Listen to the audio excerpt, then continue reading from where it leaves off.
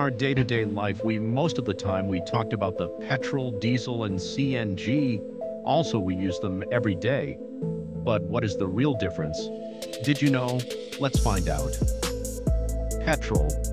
Petrol is a light liquid fuel. It is made from crude oil. Petrol burns easily with a spark. That is why petrol cars have spark plugs. Petrol was first used in the USA in the 1880s. Diesel. Diesel is heavier than petrol. It also comes from crude oil. Diesel does not need a spark plug. It burns under high pressure. Diesel was invented by Rudolf Diesel in Germany in 1892. CNG.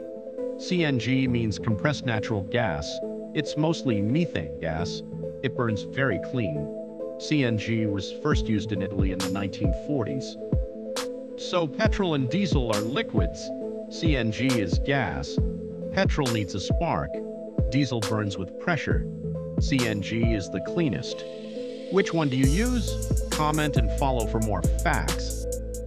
If you like this video, please subscribe, like, and share our InfoBite channel. Thanks for watching.